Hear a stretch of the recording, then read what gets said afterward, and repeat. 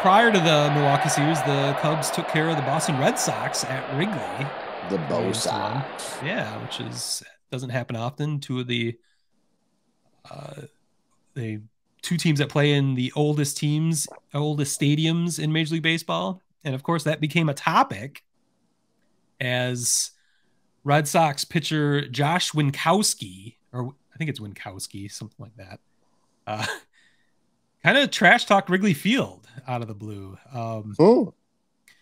After, of course, mind you, this is after he just lost the game uh, to the Cubs. He might have been a little sour, but he referred to Wrigley Field as kind of a standard stock ballpark, nothing special. He was underwhelmed. It was his first visit apparently to Wrigley, but of course, the inevitable comparisons between Wrigley and Fenway come up because they were built around the same time and they're the only two ancient ancient ballparks. But I think uh, I kind of want to call Josh Winckowski more like Josh Luzkowski because he was sounded just very very sour grapes after his loss.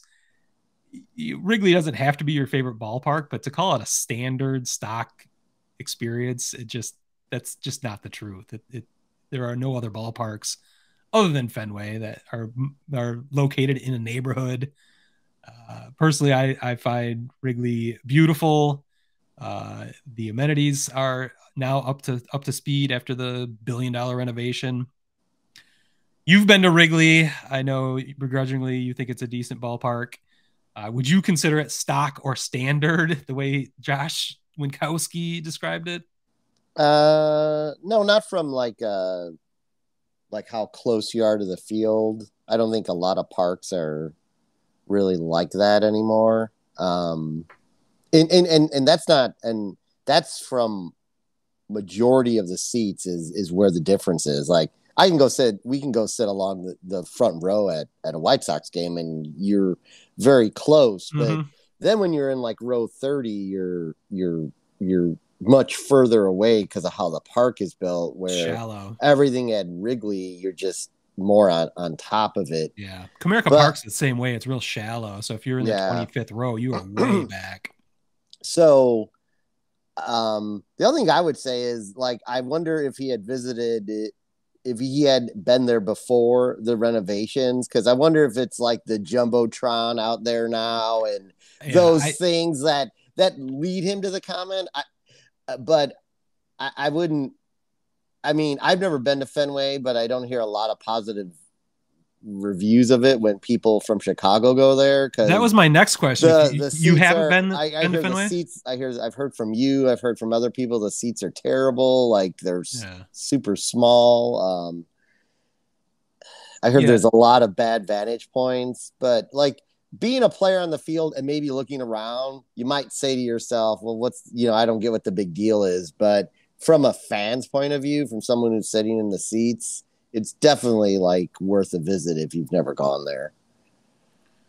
Well, I've been to Fenway twice. Uh, once in 2001, uh, as Mike Mussina actually had a no hitter going against the Red Sox in the bottom, two outs in the ninth, and Red Sox Carl Everett broke up that no hitter, and he got booed by the home Red Sox crowd, which was kind of amazing. Carl Everett is kind of a bizarre dude in many ways, but I couldn't believe I was actually hearing Red Sox fans being upset about a uh, Yankee pitcher uh, having so much success against them. But um, that was the first time I was there. I was also there in 2010, and that was apparently after some renovations had happened.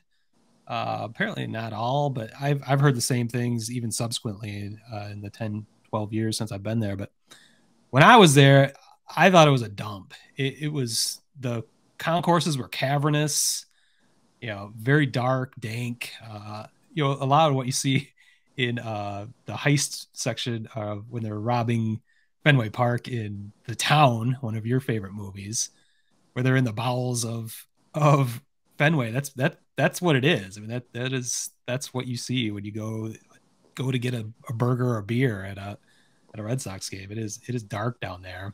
And it's I didn't see many uh shootouts or anything like that between fake cops and real cops and everything else, but maybe.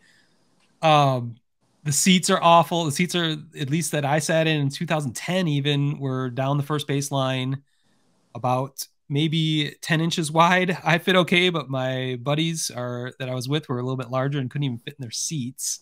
Yikes. Um, they also don't face home plate. They are basically 90 degrees from home plate. They're they're perpendicular to the the first baseline. So I was facing directly at the green monster and had to turn 45 degrees to see home plate. It, they were beat up wood.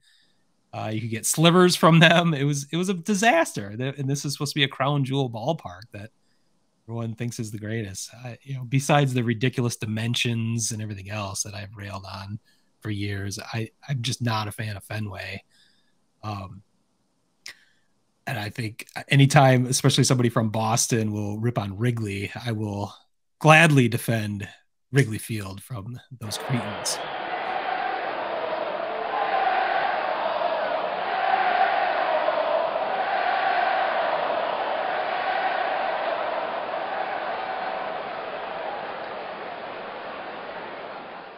Word Hole Media.